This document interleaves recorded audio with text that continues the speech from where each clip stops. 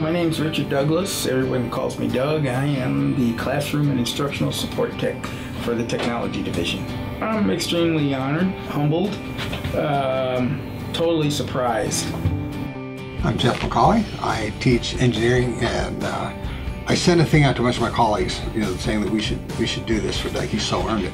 And I was inundated. I got stacks of letters here that says, you know what? Here's what he does for me. Here's what he does for me. Here's what he does for me. He's not one of those guys that says that's not my job. Anything. I'm maybe biased, but I think uh, the technology division as a whole is probably the best division on campus. If something needs to be done, we kind of all pitch in and, and roll up our sleeves and get things done and give them a quality product, and they're happy. Then I'm happy.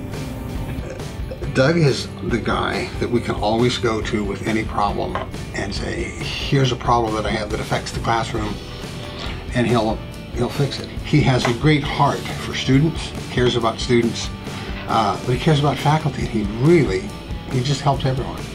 A lot of good students have kind of come and gone through the, the Green River doors and have gone on to bigger and better things, and I like to think that, you know, we we've had a, a, a small part to play in that thank you for consideration and you know thanks to the uh, selection board for selecting me i'm i'm totally surprised totally honored